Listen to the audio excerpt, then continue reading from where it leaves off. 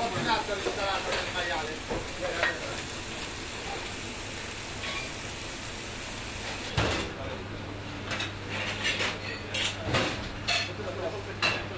It's a typical Italian dish. Served with just tomato sauce and basil. And uh, as you can see, they're all made by hands. Just turn them around to the edge in order to allow them to catch a little bit more sauce.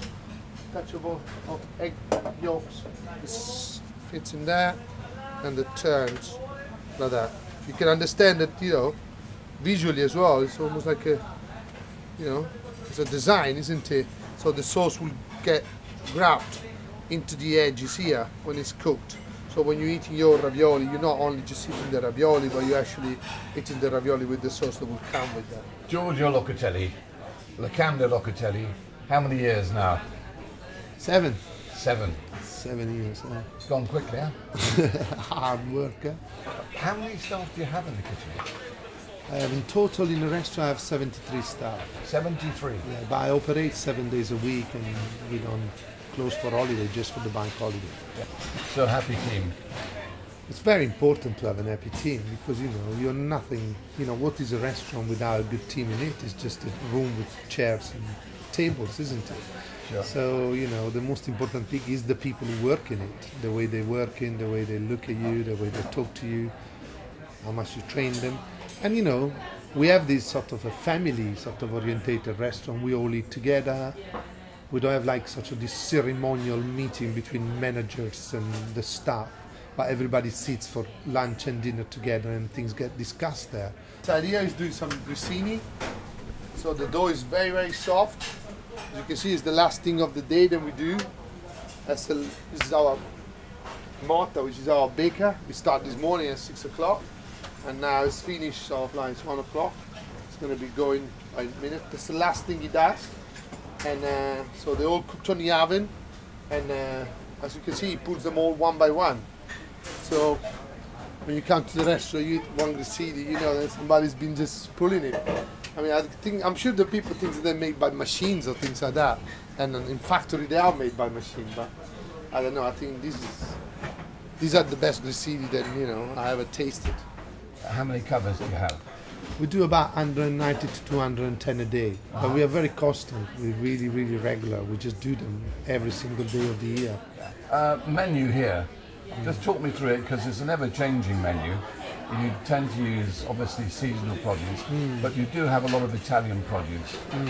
Tell me, tell me why But that's the idea is really to reflect, you know, Ita- Italian cooking is not really about uh, the creativity of the chef. It's much more about the actually raw ingredients and the surround the area where they're produced. We'll bring in some stuff in on a weekly basis. When we can, we're using a lot of the English ingredients as well. I mean, there is certain dishes that may are considered our signature dish. I don't know, like the scallops. When Italian people come here to eat, they always eat our scallops with the saffron vinaigrette. And you know, they are amazed about the size of the scallops. And those scallops is only scallops that you can find in northern England and Ireland.